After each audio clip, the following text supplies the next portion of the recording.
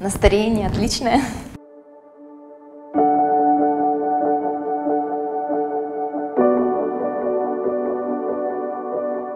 Меня зовут Николаенко Наталья. Я приехала с Дальнего Востока, город Благовещенск. Меня зовут Татьяна, я из Тольятти. А, Хотелось узнать что-то новое. Услышала от знакомых, что есть такая школа.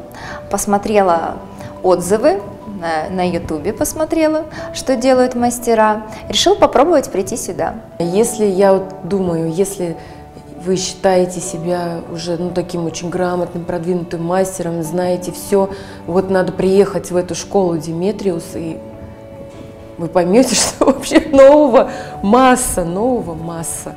И за эти два дня у меня просто открытие за открытием, и шок даже легкий какой-то, и ну, это не рассказать в двух словах, что за открытие. Они мелкие, какие-то мелочи, и что-то новое я вообще первый раз об этом слышала за эти два дня. Мода не стоит на месте.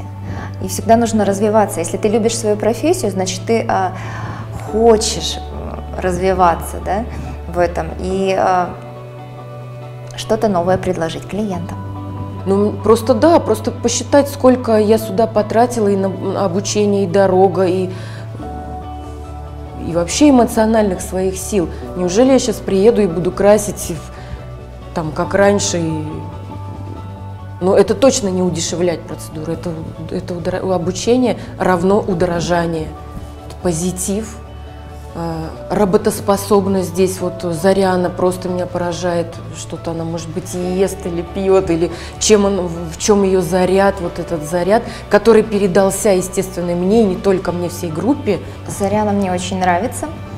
И, честно говоря, ну, не могу к ней придраться. Она профессионал в своем деле, поэтому меня все устраивает.